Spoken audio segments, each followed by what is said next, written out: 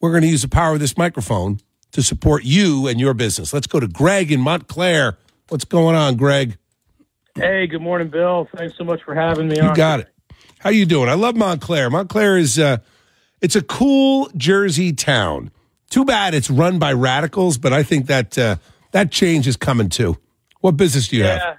It's it's um it's a lot of uh, interesting things going on here. I actually live in town, Yeah. but I uh, I, I I work in Butler at the High Point Brewing Company, Ah. Ramstein Beer, and we uh you know we were delighted to have you uh, earlier. Um, I guess last week, and and again, thank you for the opportunity to come on and, and sort of chat up our, our award-winning brewery, Greg- and uh, and of course the craft brewing business in the great Let- state of New Jersey. Let me tell you, Greg. I I talked about this after I was at the brew company uh, last week.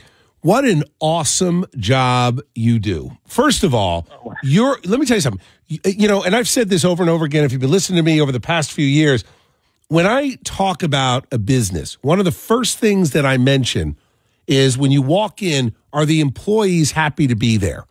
And when your employees are smiling and they're happy to be there, that means you got a good boss, you've got a competent owner, you got a good product, and and the the uh, customers are happy. And I walked in there; it was such a positive experience. I, I love I love your place. It's great. Oh man, thank you so much. Yeah, we worked really hard at, at creating that atmosphere, and and of course, uh, you know, it all goes to my uh, my brewers. Those guys make some extraordinary beer. You know, we're uh, we've been making beer for, since 1996, and I opened the brewery after coming back from Germany. I worked in Germany as a brewer, and you know, I was over there, and, and the craft brewing industry was starting to grow in the United States, and that's sort of when the entrepreneur's light bulb went off. And I said, you know, we can do so many great things in Yeah. New Jersey and the United States. Why aren't we making beer that tastes like this in Germany? You know, a place where people come from all over the world. So I came back to New Jersey, my native, my native New Jersey, and, and opened up our brewery in Butler in a historic building where we have great water. You know, it's just great logistics, and and uh, our tasting room is is open to the public Wednesday through Sunday. You can come in, like you said, have that wonderful experience, and, Yeah. and enjoy, uh, you know, big landscape of beer and and learn about the, the wonderful world of Well, and it's a very cool spot because the parking is like inside a courtyard. right, right? I, I mean, I you know I was I'm an idiot, right? I circled the block twice before I figured it out, but but th- that was that that was uh, user error on my part. It was actually pretty easy with all the signs. I just you know not paying attention. But parking is great. The beer is delicious. I I tried two. I tried uh, something from the tap. Tell me real quick, what's the difference with the German brewing compared to other types of, of beer?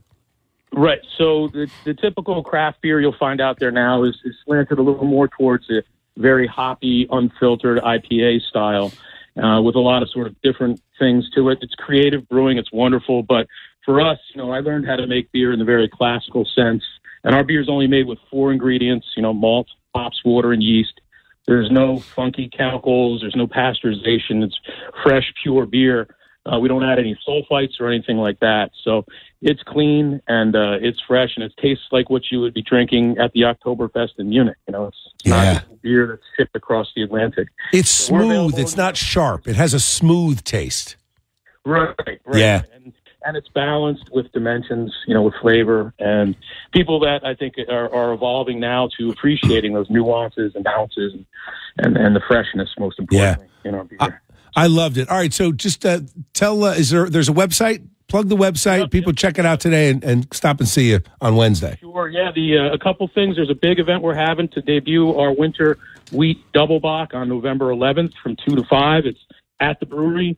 It's free admission, um, and you can try our award-winning beers. You know, we just won that international award at the Beer Olympics, the World Beer Cup. Yep, We won that yep. gold medal for our amber, and you can read all about it at uh, RamsteinBeer.com. Ram S T E I N ramsteinbeer.com.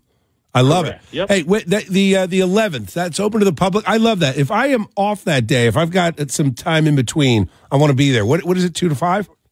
Two to five, free admission. There'll be you know free samples, live music, and, and all, a whole lot more. I love it. Come on in. All right, man. Greg, great to talk to you. Thanks again for the hospitality, and uh, I, I'm looking forward to uh, scheduling an event with you guys very soon. That we'll uh, um, we'll be there.